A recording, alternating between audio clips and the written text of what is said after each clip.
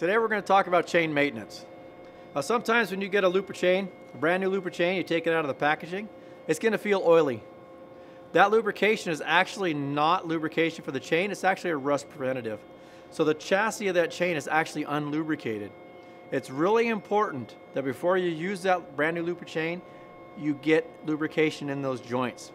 One way that we recommend to do that is by setting your looper chain in a container with oil and letting it soak. So now we're going to talk about maintenance on a previously used looper chain. Sometimes during operation, a looper chain will get thrown off the bar.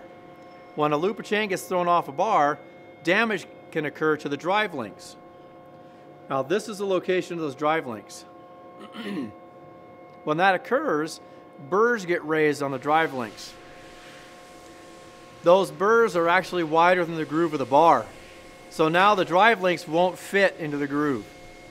The way to remove those burrs so everything fits back together again is by using a flat file to remove the burrs. So the first thing you're going to want to do is identify those damaged drive links. And when you find them, you kind of turn your loop inside out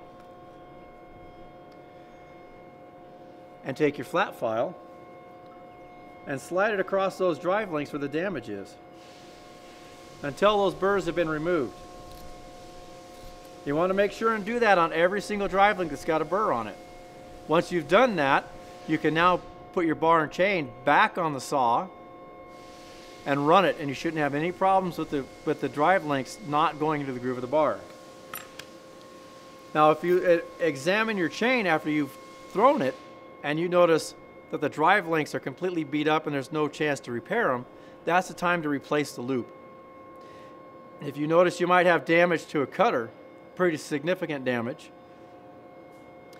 there's a method to replace those cutters. There's a method to replace those tie straps. That's going to be covered in another video. For further details, please visit OregonProducts.com.